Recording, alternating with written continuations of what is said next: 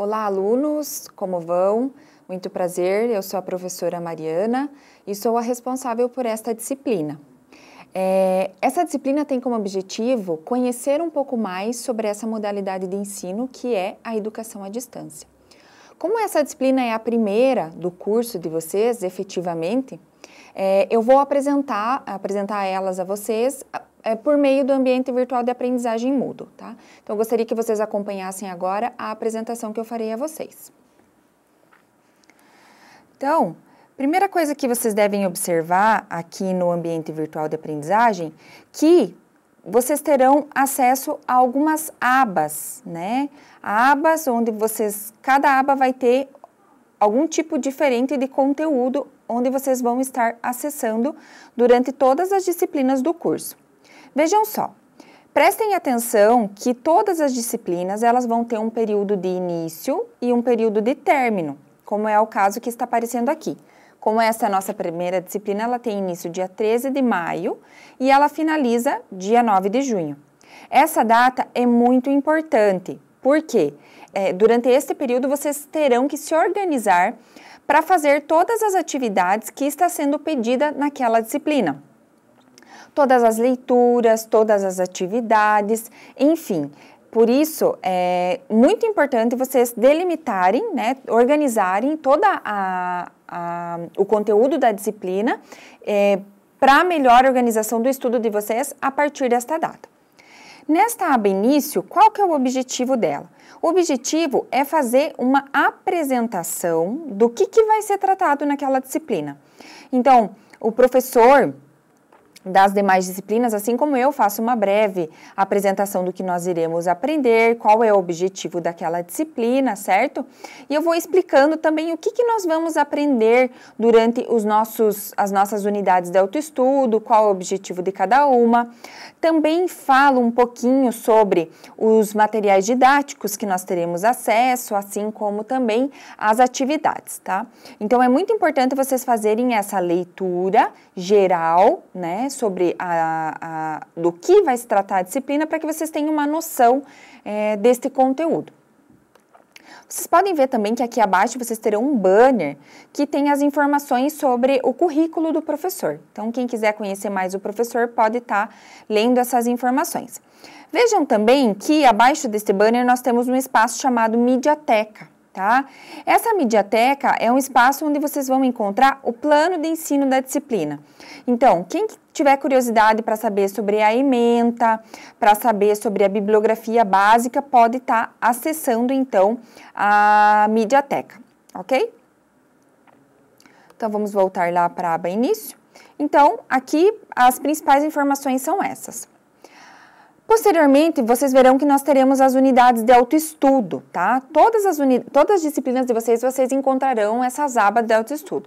O que, que é isso, professora? Essas unidades de autoestudo é basicamente o conteúdo que vocês terão que estudar durante aquela disciplina. Então, vejam só. Na Autoestudo 1, na nossa disciplina especificamente, nós vamos falar um pouco sobre os ambientes virtuais de aprendizagem, né? Qual que é o nosso objetivo aqui nesta unidade? É compreender como se dá essa relação de ensino e de aprendizagem à distância, né? Sobretudo em um, em um ambiente online, que, nós, que no nosso caso, então, é o, o AVA, o Ambiente Virtual de Aprendizagem Mudo, né? É, então, Vejam só, que aqui eu começo fazendo algumas explicações a vocês, falando sobre o que é o AVA, falando que o Moodle é o nosso campo de prática, e logo abaixo eu tenho uma atividade, que é um fórum de apresentação, tá? É, sempre quando tiver alguma atividade, ou ela vai aparecer no meio dos textos, ou então ela vai aparecer logo abaixo todas as, as os, os conteúdos que o professor previu para aquela para aquela unidade de autoestudo. Então, neste caso aqui, tem uma atividade que é um fórum de apresentação, onde vocês vão acessar ela e vocês vão responder né, essa pergunta aqui, onde eu estou pedindo que vocês falem um pouco mais sobre a experiência profissional de vocês, sobre a formação escolar, para que a gente possa se conhecer um pouquinho mais, tá? Então, nessa unidade, o que nós teremos de, de, de atividade é, é este fórum. Posteriormente, é, eu vou colocando mais algumas informações sobre a modalidade de ensino IAD, trago alguns vídeos também importantes para que vocês assistam. Depois eu trago também um histórico da IAD no Brasil, que é importante vocês conhecerem. É, enfim, aqui basicamente está todo o conteúdo que vocês devem estudar. Também trago alguns artigos importantes para que vocês acessem, tá? É, então é importante que vocês acessem todo o conteúdo, leiam todas as explicações para que vocês compreendam o conteúdo desta unidade de autoestudo 1. Na unidade de autoestudo 2, é, que tem como título a EAD como ação política e educativa, é, nós temos como objetivo compreender os diferentes desafios da EAD. Né? É, temos que compreender que ela é uma modalidade educacional e que deve ser reconhecida como tal e que também é um modo de, de educação que se processa por meio das tecnologias da informação e da comunicação, mas que não se resumem a estas.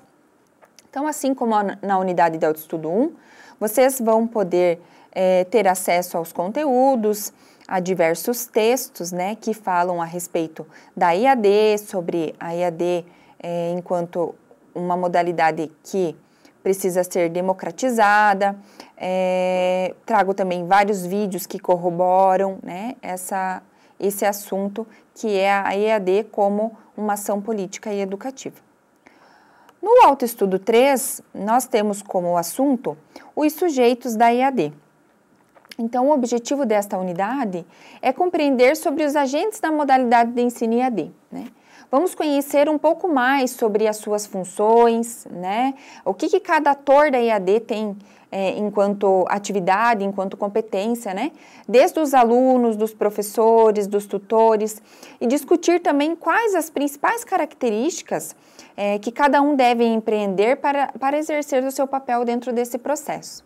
Então, aqui vocês vão conhecer um pouco mais sobre esses sujeitos, né? Sobre o tutor, sobre o papel do aluno. É, então, vocês vão poder ter acesso a esse conteúdo. Posteriormente, nós entramos numa aba chamada aprendizagem colaborativa, tá? Aprendizagem colaborativa quer dizer o quê? Que a partir dos conteúdos que nós já vimos e também sobre uma pode ser também a partir de uma nova discussão que pode ser trabalhada, nós vamos fazer uma atividade, como o próprio nome da aba diz, colaborativa. Então, aqui eu peço a vocês que vocês acessem é, um, um, artigo, façam a leitura de um artigo e também de um vídeo, e depois que vocês fizerem isso, vocês participem de um fórum, né? Esse fórum é uma atividade avaliativa, tá, pessoal? Ela é uma, uma atividade avaliativa que ela tem o valor de 40 pontos. É, então, vocês vão acessar ali o fórum e vão responder ao que se pede, tá? É importante sempre deixar claro para vocês que as atividades do Moodle, ela tem, ela tem uma soma de pontos de até 40 pontos. E a avaliação final, ela tem, é, ela soma 60 pontos, tá? A avaliação final nesta atividade, ela vai ser uma proposta aqui na comunidade de prática. Então, como essa é, é, uma, é a primeira disciplina, ela tem uma característica um pouco diferente.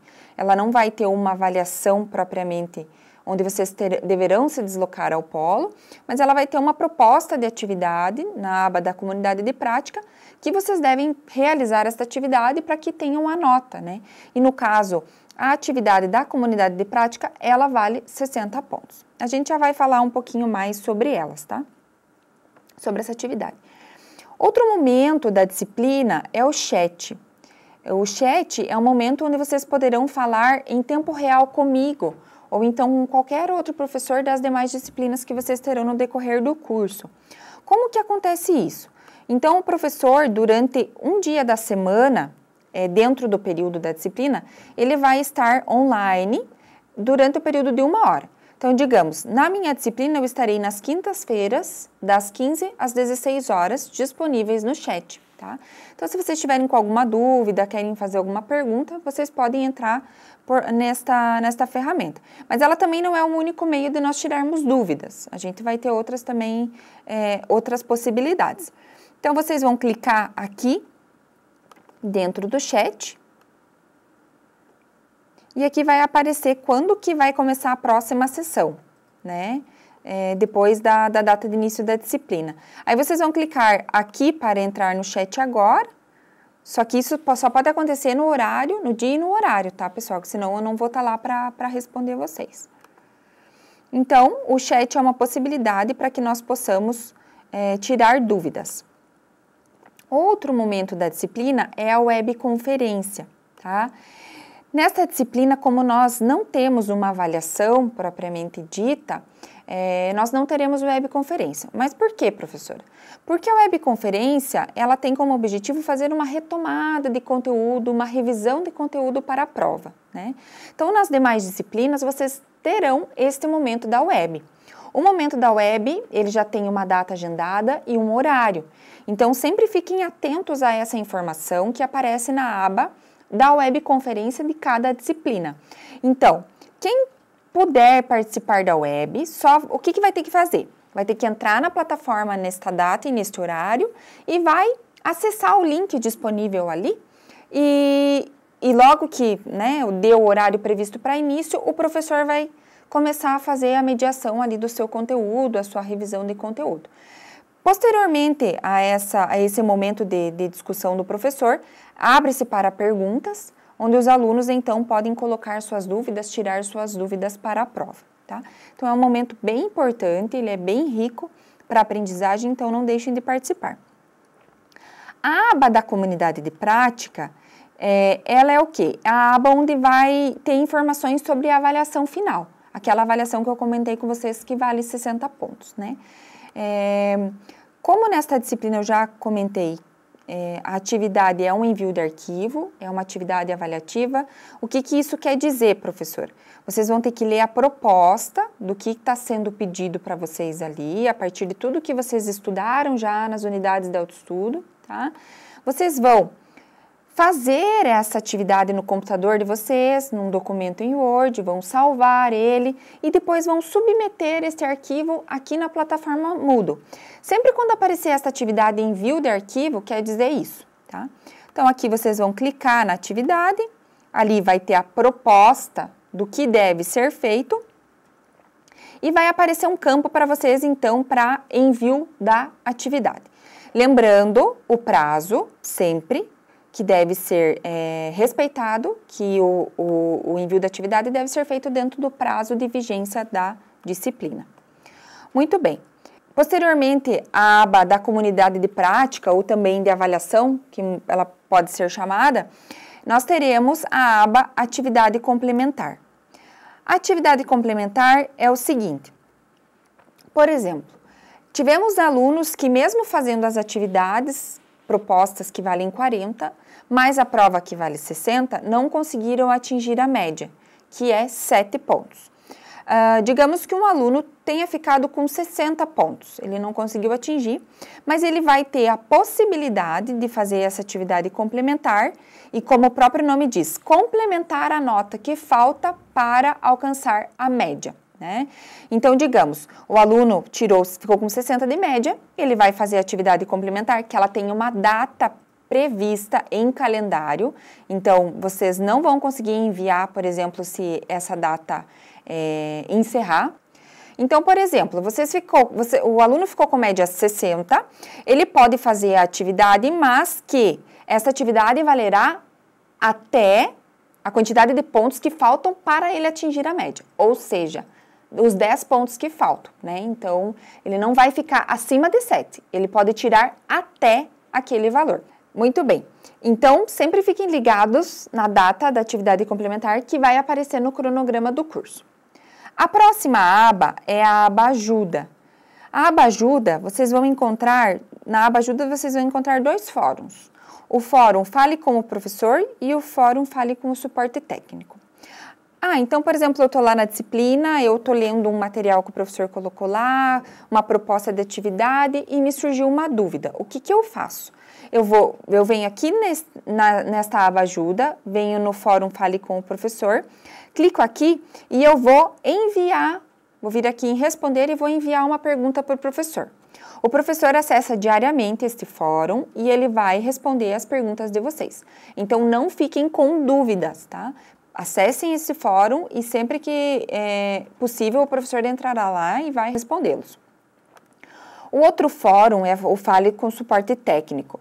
Este fórum é da equipe pedagógica, tá? Então, vocês vão acessar e mandar alguma pergunta quando acontecer coisas do gênero. Não está abrindo um vídeo, não consigo baixar um arquivo, né? É algum problema técnico referente ao conteúdo disponível na disciplina. Então, problemas dessa natureza devem ser reportados a este fórum. Tá? O Fale com o Professor é dúvidas da disciplina, do conteúdo, e Fale com o suporte técnico são dúvidas referentes é, a questões mesmo técnicas de não conseguir acesso a determinado conteúdo da disciplina. Por último, nós temos a aba da avaliação institucional. A aba da avaliação institucional é uma aba é, que, posterior é, ao término da disciplina, vocês podem avaliá-la. Isso é muito importante para nós, ter o feedback de vocês é, enquanto é, se gostaram da disciplina, o que, que acham que poderia melhorar. É um momento, então, do feedback de vocês a respeito disso, tá? Então, é muito importante também, não deixem de de acessar aqui esse link para responder. É, acredito que seja isso, pessoal. É, de minha parte, o objetivo era apresentar a vocês essa, esse primeiro momento é, do curso é, e com a primeira disciplina.